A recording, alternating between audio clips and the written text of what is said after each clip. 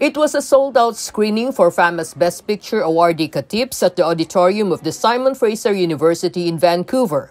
Attorney Vince Tañada, who also won as Best Actor for his role in the film, said Katips aims to inspire Filipinos to act on issues that need to change and to combat the proliferation of disinformation in the Philippines. Katips was adapted from the stage musical of the same title, which depicted the struggles of students during martial law and the human rights abuses that they suffered. From the kind of like jovial, happy musical um, sections to the pretty graphic and visceral scenes of torture, uh, murder, and sexual assault. Um, forces the audience to think about the disconnect between what is usually um, touted as like the golden age of martial law versus what actually happened. One of those who watched the film is Geraldine Susara, whose father, Antonio Susara, was among those jailed and tortured for criticizing former President Ferdinand Marcos.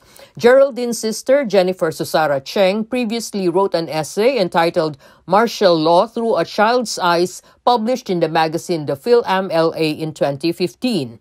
Susara Cheng said part of the reason that she wrote the article is to challenge the Marcoses to show remorse by not changing facts. We were affected by the martial law. My father was in jail for more than a year. So, bata pa ako nun, but my sister narrated it really well. So, it's very important to me. I'm very sensitive about the martial law.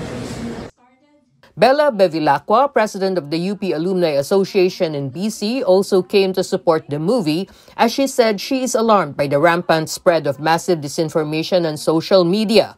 I don't want to offend anybody, but it's high time for us to like really wake up dahil yung bansa natin, it's at the verge of um, losing itself.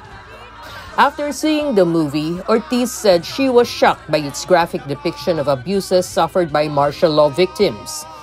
It, it was pretty upsetting. Like, you think about martial law survivors who you organize within your community, and some of them are able to tell the stories, and some of them are not.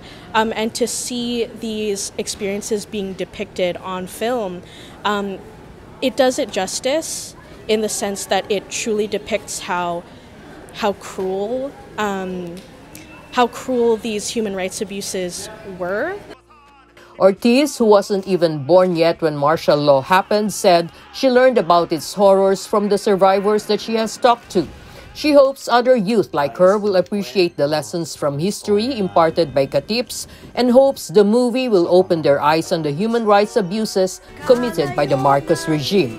As a youth, it's important for us to not look away when we're faced with these depictions because it's not something that again that we learn in school um, it's through stories like Katips and through stories that martial law survivors tell Katips was screened in the major cities of Canada in collaboration with various Filipino-Canadian activist groups. Rowena Papasin, ABS-CBN News, Vancouver.